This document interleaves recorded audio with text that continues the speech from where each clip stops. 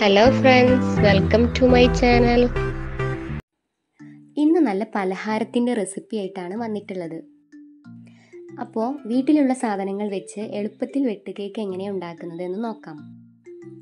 ആദ്യം കേക്കിനുള്ളൊരു മാവ് ഉണ്ടാക്കണം. അപ്പോൾ അതിനായിട്ട് അഞ്ച് കോഴിമുട്ട എടുത്ത് വെച്ചിട്ടുണ്ട്.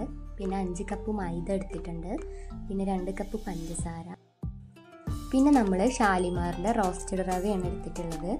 അതൊരു രണ്ട് കപ്പോളം വേണം. പിന്നെ നമുക്ക് ഇതിലേക്ക് കുറച്ച് ഡാൽഡയുടെ ആവശ്യമുണ്ട്. അതിനായിട്ട് നൂറ് എം എല്ലിന്റെ പാക്കറ്റ് എടുത്ത് വെച്ചിട്ടുണ്ട്. അത് ഫുള്ളൊന്നും വേണ്ട. ഒരു കാൽ കപ്പ് നെയ്യാണ് ഇതിലേക്ക് യൂസ് ചെയ്യുന്നത്. ആദ്യം തന്നെ പഞ്ചസാര പൊടിച്ചെടുത്ത് വെച്ചിട്ടുണ്ട്. ഇനി അതിലേക്ക് കോഴിമുട്ട ചേർത്ത് കൊടുക്കാം. ഇനി ഇതിലേക്ക് ഒരു ടീസ്പൂൺ ഏലക്കാപ്പൊടി ചേർത്ത് കൊടുക്കാം. ശേഷം ഒരു കാൽ ടീസ്പൂൺ ഉപ്പ് കൂടി ചേർത്ത് നന്നായിട്ടൊന്ന് അടിച്ചെടുത്ത് വരാം. ഇനി അടിച്ചെടുത്ത മിക്സ് ഒരു വലിയ പാത്രത്തിലേക്ക് ഒഴിച്ചു കൊടുക്കാം. ഇനി ഇതിലേക്ക് ഒരു നാല് കപ്പ് മൈദയോളം ചേർത്ത് കൊടുക്കാം. ബാക്കി കുഴക്കുന്നതിനിടയ്ക്ക് കുറേശ്ശെ കുറേശ്ശെ ആയിട്ട് ചേർത്ത് കൊടുക്കാം. ഇനി ഇതിലേക്ക് നമ്മൾ എടുത്തു വെച്ച റവ ചേർത്ത് കൊടുക്കാം. ഇനി ഇതിലേക്ക് ഒരു കാൽ കപ്പ് നെയ്യാണ് ചേർത്ത് കൊടുക്കുന്നത്. നെയ്യ് ചേർക്കുന്നത് നമ്മുടെ വെട്ട് കേക്കിന് നല്ലൊരു സോഫ്റ്റ്നെസ് കിട്ടാൻ വേണ്ടിയിട്ടാണ്. ശേഷം കൈ ഉപയോഗിച്ച് നന്നായിട്ട് കുഴച്ചെടുക്കണം. ഈ മുട്ടയുടെ കൂട്ട് ചേർത്ത് കഴിഞ്ഞ് നന്നായിട്ട് മിക്സ് ചെയ്ത് കഴിയുമ്പോൾ മാവ് എത്ര ലൂസാണെന്ന് നോക്കിയിട്ട് വേണം ബാക്കി മൈദ ചേർക്കാൻ. മാവ് കുറച്ച് സോഫ്റ്റ് ആയിരിക്കണം. എന്നാൽ കയ്യിൽ ഒരുപാട് ഒട്ടിപ്പിടിക്കരുത്. ആ ഒരു രീതിയിലായിരിക്കണം. ഇനി ഇതിലേക്കൊരു കാൽ ടീസ്പൂൺ ബേക്കിംഗ് സോഡയാണ് ചേർത്ത് കൊടുക്കുന്നത്. ശേഷം നന്നായിട്ടൊന്ന് കുഴച്ചെടുക്കണം. മാവ് ലൂസായതിനാൽ ബാക്കി മൈദ കൂടി ചേർത്ത് കുഴച്ചെടുത്തതാണിത്. അപ്പോൾ നമ്മുടെ മാവ് ഇതുപോലെ കുഴച്ച് റെഡിയാക്കി വെച്ചിട്ടുണ്ട്. ഇനി ഇത് കുറച്ച് മൈദ ഉപയോഗിച്ച് പരത്തിയെടുക്കാം. മാവിൽ റവ ചേർത്തതിനാൽ പെട്ടെന്ന് തന്നെ എല്ലാം പരത്തിയെടുക്കണം. ഒരുപാട് കനം കുറഞ്ഞു പോകാൻ പാടില്ല. ഈ ഒരു കട്ടിക്ക് തന്നെ നമ്മൾ എല്ലാം പരത്തിയെടുക്കണം. ഇനി ഇതിന്റെ നാല് സൈഡും ചെറുതായിട്ടൊന്ന് കട്ട് ചെയ്ത് കൊടുക്കാം. ഇതുപോലെ ബാക്കിയുള്ളതെല്ലാം കട്ട് ചെയ്ത് വെച്ചതാണിത്. ഇതിൽ നിന്ന് ഓരോന്നായി എടുത്ത് നമുക്ക് കട്ട് ചെയ്ത് തുടങ്ങാം. നമുക്ക് ഇഷ്ടമുള്ള ഷേപ്പിൽ ഇത് കട്ട് ചെയ്തെടുക്കാം. ഞാനിവിടെ ഡയമണ്ട് ഷേപ്പിലാണ് കട്ട് ചെയ്യാൻ പോകുന്നത്.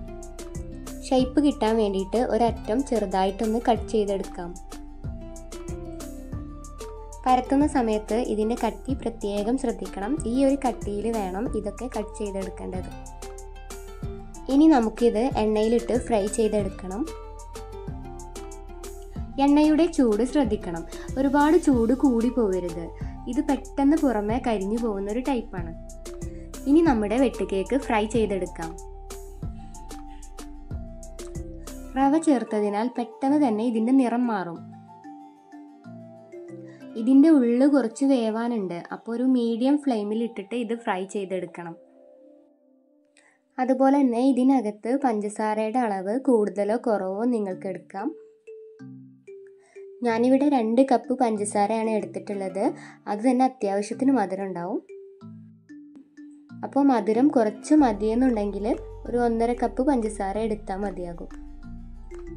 രണ്ട് സൈഡും ബ്രൗൺ കളർ ആകുന്നത് വരെ ഇത് ഇളക്കി കൊടുക്കണം.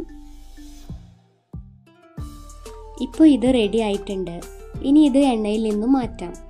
എണ്ണയിൽ നിന്ന് എടുക്കുന്ന സമയത്ത് ഇത് അത്ര ക്രിസ്പി അല്ലാത്ത പോലെ തോന്നും. എന്ന് വെച്ച് കൂടുതൽ ഫ്രൈ ചെയ്യണ്ട കേട്ടോ ഇത് പുറത്ത് വെച്ച് ഒരു അഞ്ച് മിനിറ്റൊക്കെ കഴിയുമ്പോൾ പുറമെ നല്ല ക്രിസ്പി ആയിട്ട് വരും. അപ്പോൾ ഈ ഒരു കളർ ആവുമ്പോൾ തന്നെ നമുക്ക് ഇത് കോരി മാറ്റാം. ശേഷം ബാക്കിയുള്ളതും ഇതുപോലെ തന്നെ ചെയ്തെടുക്കണം. അപ്പം നമ്മുടെ ഇന്നത്തെ അടിപൊളി പലഹാരം വെട്ടുകേക്ക് അഥവാ തരിക്കേക്ക് റെഡി ആയിട്ടുണ്ട്. കുട്ടികൾക്കൊക്കെ ഒത്തിരി ഇഷ്ടപ്പെടുന്ന ഒരു പലഹാരമാണത് അപ്പോൾ ഇതുവരെ ട്രൈ ചെയ്യാത്തവരുണ്ടെങ്കിൽ എന്തായാലും ട്രൈ ചെയ്ത് നോക്കുക എത്ര ദിവസം വെച്ചിരുന്നാലും ഇത് കേടുവരില്ല. നല്ല വൃത്തിയുള്ളൊരു പാത്രത്തിൽ ഇട്ട് വെച്ചാൽ മതി. അതുപോലെ തന്നെ ഇരിക്കും തോറും ഇതിന്റെ ടേസ്റ്റ് കൂടും. അപ്പോൾ നെക്സ്റ്റ് വീഡിയോ ആയിട്ട് വരുന്നത് വരെ ബൈ ബൈ